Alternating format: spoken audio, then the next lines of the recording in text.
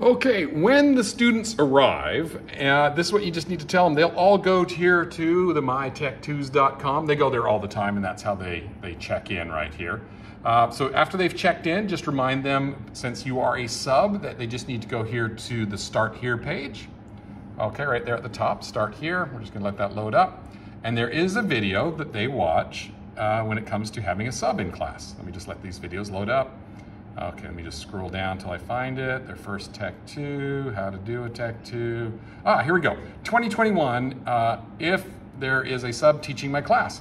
Okay, so just assign that to all the students to go watch right now. They just put their little headphones on. It is only like a minute long or maybe a minute and a half, but have them all go watch that. Basically, what I tell them is that they need uh, to take care of themselves, they need to help each other out, and they need to always uh, show respect for all the equipment, uh, just like I was there. Okay, so that's what you need to tell them to do. Again, that was uh, the, the, start here page, and they just scroll down until they see my my face or the one that says uh, if there is a sub teaching my class. Okay, good luck.